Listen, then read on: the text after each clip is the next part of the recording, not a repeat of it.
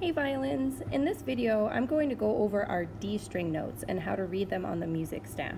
So I'll show you what the notes look like and then we'll review what finger numbers they are. We're going to start with our lowest note on the D string, that's open D, and it goes right here underneath the music staff. So it's a space note, even though it's not inside the music staff, we still call it a space note because there's no line going through it. Okay, so that's our open D, and I'm going to draw a zero underneath it so that we know it's no fingers. Now I'm going to go one note higher than that, so I need to go up the music staff. And because we started with a space note, if I want to go up one note, I need to go to a line note. I'm going to go to this very next line, and that is E. So we went up one letter in the alphabet also. And E is one finger. Okay, our next note.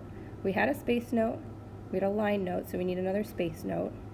I'm going to use this space, it's just one above E, and that is F sharp. And F sharp is two fingers.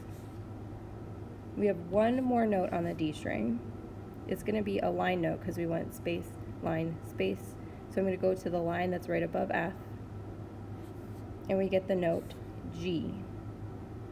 And G is three fingers.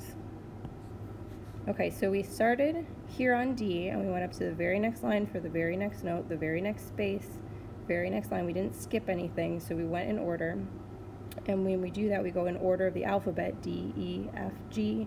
And we also add one finger every time we go up one note. Another thing to notice, um, a trick on violin, is you notice your line notes are odd numbered fingers.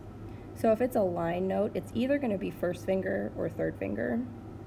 And then your space notes are either going to be 0 or 2. So that's one trick that can help you remember which one, which notes are which fingers. Okay, those are all your D string notes.